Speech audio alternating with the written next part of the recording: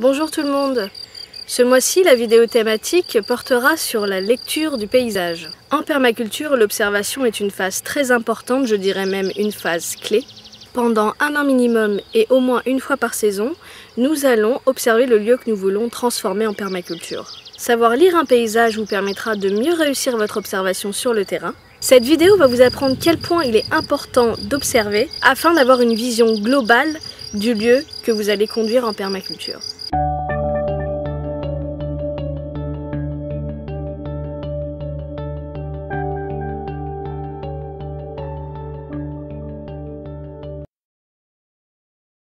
Chaque lieu a son type et ses particularités endémiques.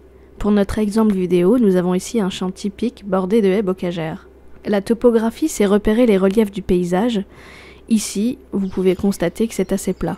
Pour les lieux plus en relief, c'est important de repérer les pentes pour la circulation de l'eau, les creux pour les éventuelles poches de froid. Nous savons que c'est un champ cultivé et non pas une prairie sauvage, car nous pouvons observer qu'il n'y a qu'un seul type de graminées, pas de plantes sauvages, de fleurs de prairie, etc. Pour le deuxième exemple, nous sommes dans un bois humide, également assez plat, mais avec le sol très mou.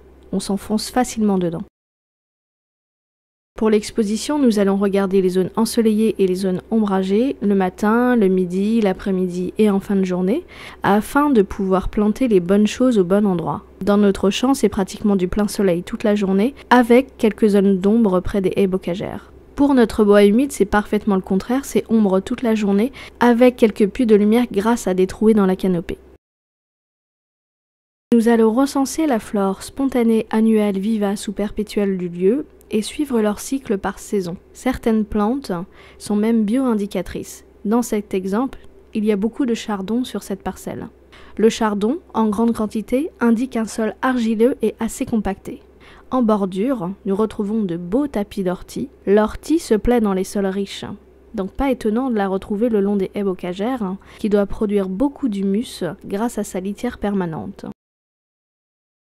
Nous allons observer la faune, que ce soit les insectes, les vers, les oiseaux, les bactraciens, les reptiles ou les rongeurs. Pour cela, il faut beaucoup de patience et venir souvent sur le terrain.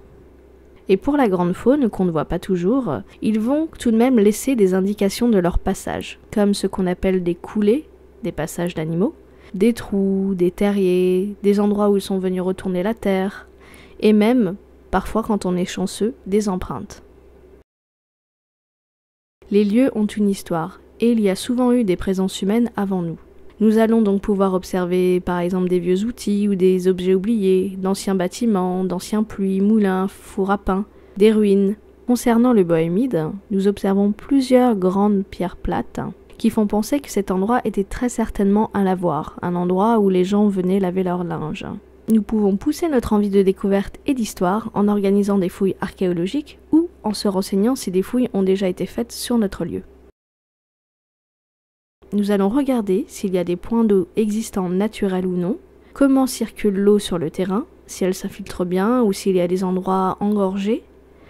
Toutes ces informations vont nous aider dans l'élaboration de notre design et sa gestion des flux. Dans notre bois humide, euh, le lavoir, transformé en mare, a une eau très opaque et il y a également une zone un peu marécageuse. L'observation et la circulation de l'air et du vent sont aussi très importantes. Nous allons noter les zones abritées, les zones plus venteuses, d'où viennent les vents dominants. Cela va nous permettre de voir où bien planter nos végétaux, où mettre nos haies brise-vent et aussi pouvoir mettre en place des stratégies pour utiliser cette ressource naturelle à bon escient.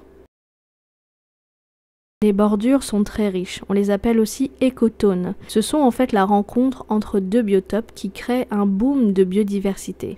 On va donc observer attentivement les bordures de nos terrains, voir ce qui y vit, ce qui y pousse spontanément, les trous éventuels, la faune, etc. Cette vidéo touche à sa fin, j'espère qu'elle vous aura plu. N'hésitez pas à vous exercer souvent pour aiguiser votre sens de l'observation. Je vous invite à aller lire l'article sur le site de Permabios. Le lien est dans la description de cette vidéo. Je vous dis au mois prochain pour une nouvelle vidéo. En attendant, portez-vous bien